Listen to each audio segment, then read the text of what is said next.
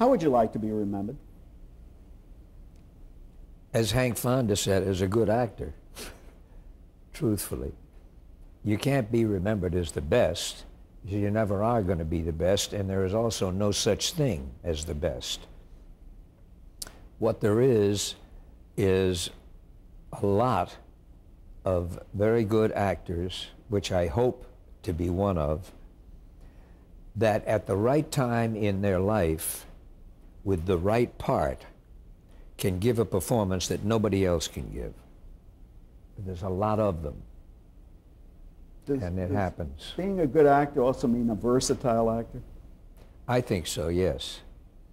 I think the best actors uh, are not of a type and of a personality that's so tight that you know who it is the, the moment they open their mouth, you know.